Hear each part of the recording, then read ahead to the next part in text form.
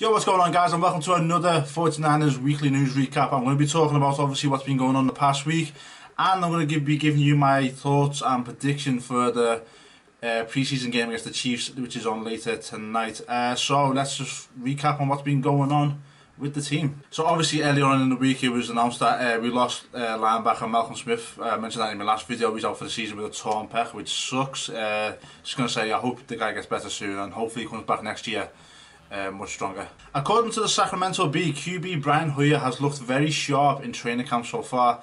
I should imagine so because most of his highlights have come against the second team defense. So if he wasn't looking sharp against them, then we would be in some serious trouble. So uh, good, but like I said, it's against the second team defense most of it. So uh, I'm not going to read too much into that. But he's Brian Hoyer. I, I can't, you know, it's, it's Brian Hoyer. Let's just leave it at that. Uh, on to Tuesday, I'm sure some of you heard uh, that linebacker uh, Donavin Newsom uh, avoided neck uh, fractures to his neck, uh, but but has been diagnosed with a concussion. Um, yeah, he collided with a teammate and was just out cold, stretchered off, took to an, took away in an ambulance.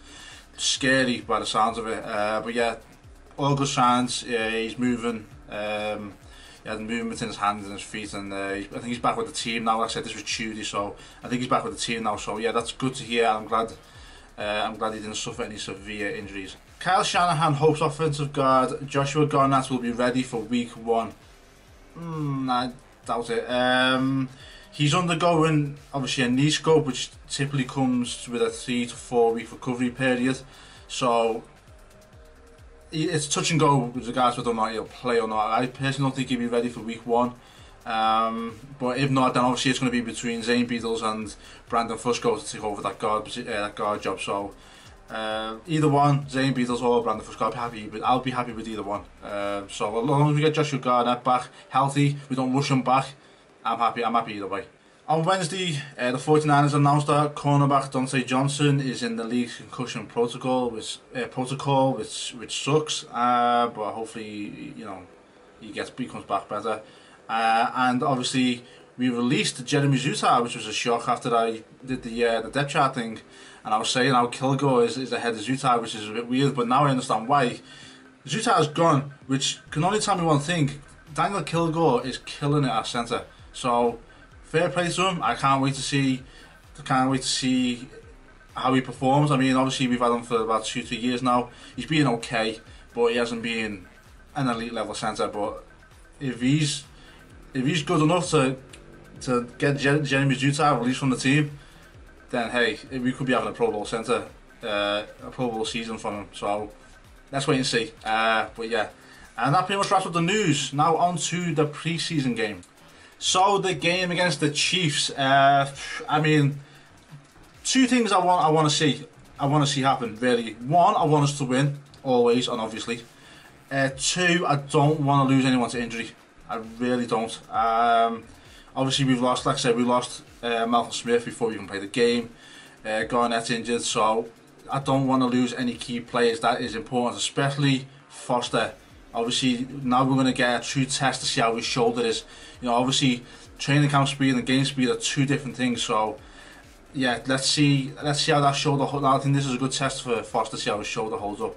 Uh, the game itself, what I'm uh, predicting to happen, or in terms of score wise, I'm obviously I reckon we'll win. I'm going to go for a score of 24-20 to the Niners. So yeah, no injuries and obviously an Anna win. And that's it, 24 to 20. That's what I want to see.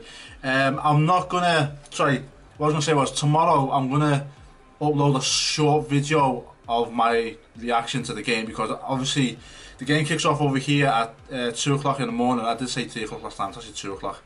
Uh, so yeah, 2 a.m. kick off over here. I'm not staying awake all night to watch a preseason game. Sorry, it, it just ain't happening. So I'll get up Saturday morning, watch as much highlights as I can, and then just upload a quick video of my thoughts and reactions to, to the to the game. So uh, yeah, sorry I can't bring you a, proper thoughts and reaction video to it, but um, like I said, it's a pre-season. I'm not staying awake all night. Uh, I'm, I'm, just not. That's just not happening. I'm sorry about that. Uh, but yeah, no injuries. Niners win. Can't wait. Cannot wait. So pre-season's finally upon us. I hope anyone who's watching the game enjoys enjoys the game. Um, And yeah, let's just see, let's just see what happens. Football is finally upon us. But yeah, that pretty much wraps up the news. Um, like I said, anything I missed out, leave a comment. What are your thoughts on the game? Who do you want to see perform? Uh, obviously, Ruben Foster and Solomon Thomas are the main two. Uh, but if there's anyone else, be sure to leave a comment.